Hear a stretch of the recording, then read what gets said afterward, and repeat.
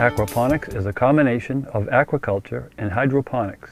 That is, a combination of fish farming and farming without soil. You can do it on a tiny scale, growing lettuce on top of a fish tank, or a large scale in a state-of-the-art greenhouse. Basically, it uses fish waste to fertilize plants.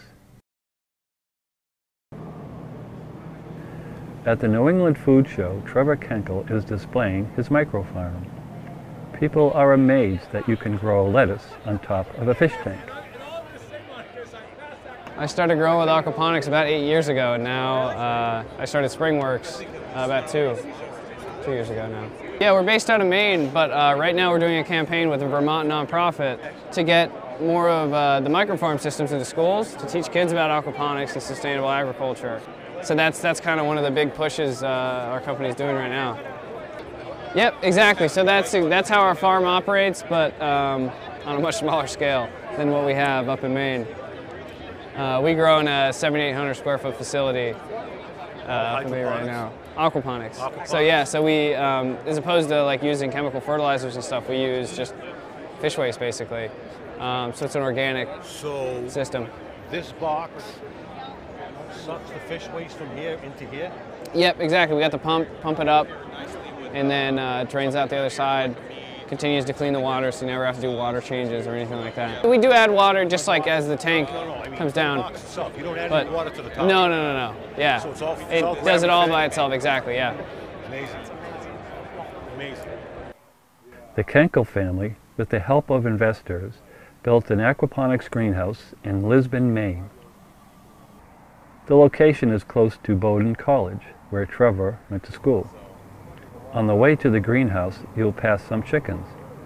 They do like lettuce scraps. So this is where the plants start out in the system. They're seeded into uh, mostly coco coir, which is the shavings off of a coconut husk. So it's a media where they can root out into and then later be transplanted out into the main area of the system once they're large enough. The substrate doesn't actually have any real nutrients uh, attached to it. They're watered with um, water from the system to get their nutrients early on. And then once the roots start to begin to be constrained by the, the trays, they get transplanted out and, and are allowed to grow to a, to a larger size. So this is our worm bin, um, scraps uh, from the harvest that aren't used for our chickens, you know, aren't fit for, for human consumption go into here and uh, they're eaten up by the worms to create a product called vermicompost that we can use later uh, in the seeding of the system. And it's a very nutrient-rich uh, compost that you know allows us to recycle some of the unused parts of the plant back into the system and be more sustainable in that uh, area of our production. So once the plants get large enough in uh, the seedling stage, they're transplanted out into the you know, main area of the greenhouse, um, and they're transplanted out into what we call stage two, which is a much smaller spacing than our mature spacing, but enough to allow them space to grow, um, to root out into the system, and then once they're large enough, they get transplanted out into the mature stage towards the end of the greenhouse and float back towards us. Um, so we harvest really on one end of the greenhouse, so the you know, product is as fresh as possible because all of the processing is done really within 10 yards of, of where any head is, is harvested. And the system is very space efficient because we're really trying to give the plants what they need uh, space-wise at any given point in their life cycle. So our greenhouse is about 10 times more productive than traditional agriculture uh, because we can kind of change that spacing over time rather than being limited uh, you know, by soil and, and kind of staying in one spot. So the roots just grow right down into the nutrient-rich solution. The whole system moves like a water conveyor belt, and these just float right on top. Uh, the system really gives the plants everything they need, so they don't need to grow as extensive of a root system as a you know, traditional soil plant would. Um, so they can grow faster uh, in the system, usually about 15% faster, uh, because they really have access to everything that they need. These won't have roots yet, but if we go Oh. down towards the end, you'll see. And so these will be moved into stage three soon, and you can kind of see the, the root system just starting to develop. Um, and then when they're a little bit bigger, they'll they'll move into the next stage of growth in their life cycle. And the whole system, because it's contained like this, it uses about 90% less water. So we save about 1.8 million gallons of water a year. That goes all the way down to the end and then kind of is uh, pushed back to this end of the greenhouse and all flows into our sump. Yeah, we store water here. Uh, it makes the sump quicker to fill up. Uh, we have one pump that runs the whole system. After that, the water is basically falling from one stage to the next. Comes back up through here after it's pumped. And then it goes through our, our boiler system, uh, which is how we heat the greenhouse during the winter. Um, we heat the water for the most part rather than heating the air, um, which is, is a lot more efficient, a lot more economical and, and sustainable because the water holds a lot of thermal mass so we can stabilize the temperature of the greenhouse using all the water out there. I mean, we have you know over 20,000 gallons of water in the system that can hold heat and uh, store heat during the day and, and release it at night, um, so that we don't have to spend as much energy operating this year round. Yep, this is the water flowing to the troughs. So it'll go underneath uh, and then breaks up into a manifold, splits into five parts, and that water all flows through the troughs and comes back to eventually be pumped out again. So at this point, the water is now, it's being pushed into the tanks here, and that's all overflowing, and then it's going to overflow out into the troughs. Those troughs are going to overflow into the sump. Um, so, you know, that one pump, once it gets, the water gets um, to about our height, it's just going to fall through the system until it gets back to the pump again. So this is the first step in the process. Us feeding the fish, the waste from the fish and the nitrates then go throughout our system to fertilize our plants out in the greenhouse. So we use tilapia. Um, they're a tropical fish that actually comes from the Nile. They're very easy to breed in captivity, so they're, they're convenient um, for a farm like us uh, that does a lot of stuff in-house. We have about a thousand fish that, that run the system constantly, um, and it takes about nine months to a year before the tilapia are fully grown and um, able to go off to market themselves. Yeah, so this is where all the fish are kept in the system. They're kept in uh, five 1,200 gallon tanks. And the plumbing of the system is designed to flush waste you know, through the tanks where it eventually is, is filtered. It's where uh, solids are settled out by gravity. It's like a retention tank.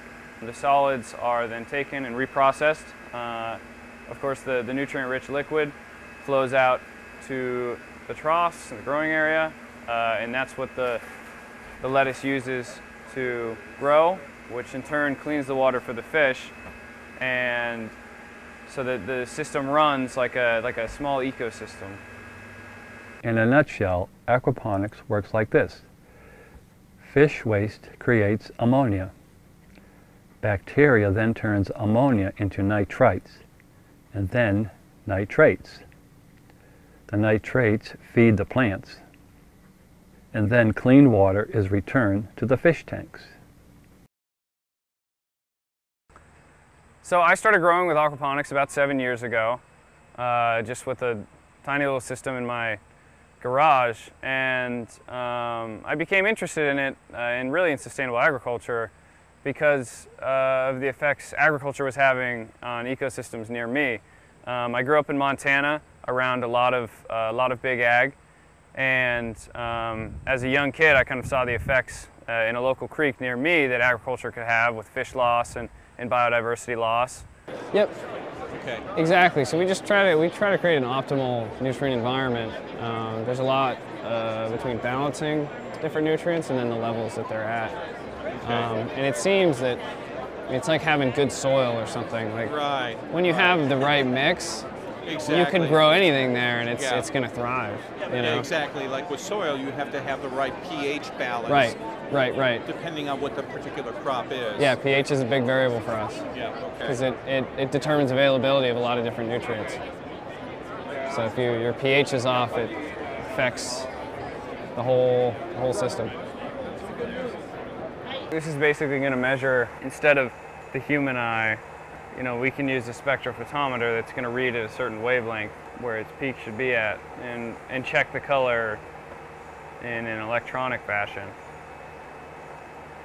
We test 11 different water parameters daily to make sure the system is balanced. Really, at this point, gather a lot of data on you know, what, what is optimal for the system? What do we want our ecosystem to look like?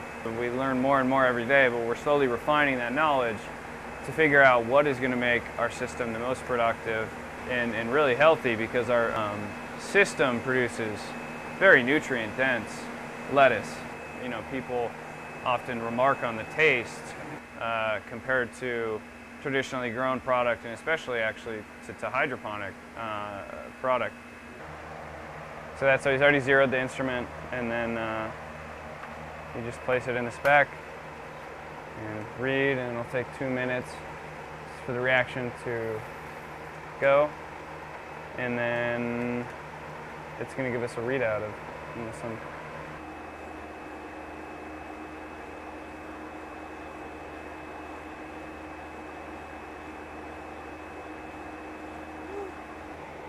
There you go. How long does this one take to develop? The magnesium, that's five seconds or 15 seconds. Oh, well, there you go. It's easy enough.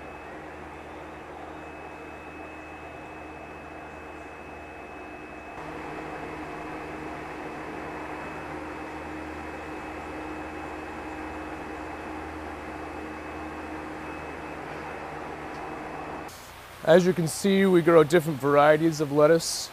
Um, we have green leaf, Bibb lettuce, red leaf lettuce, baby romaine lettuce.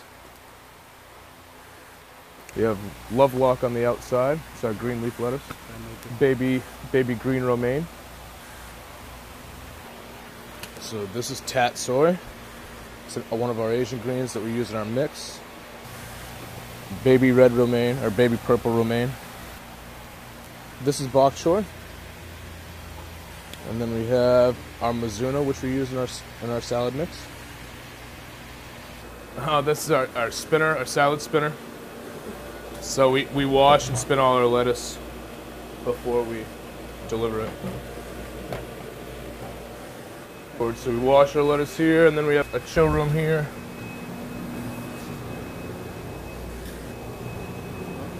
So this is where we do all our processing, make our mix, packaging.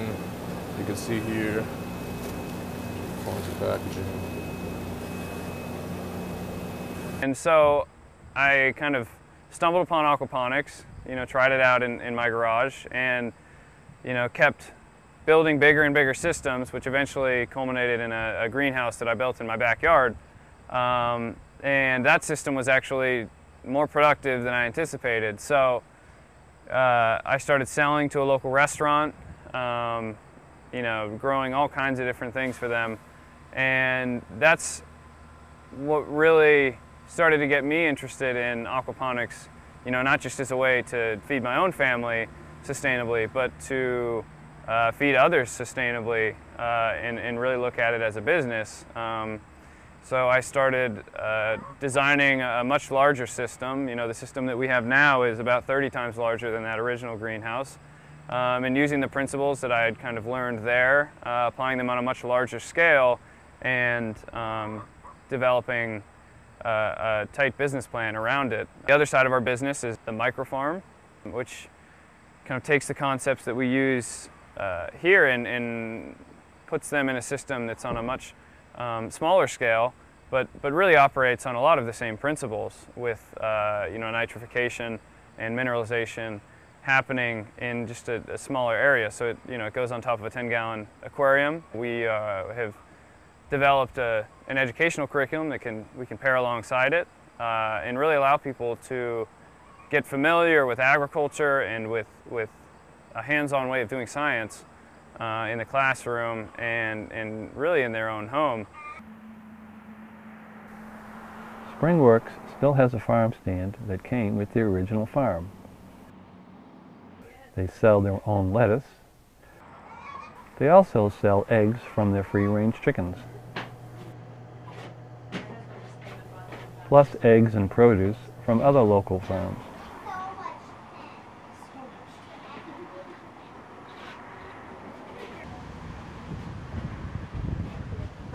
I had one last question concerning a power failure. They do have a generator which will run the greenhouse. Springworks has future plans to build a second greenhouse. I wish them good luck.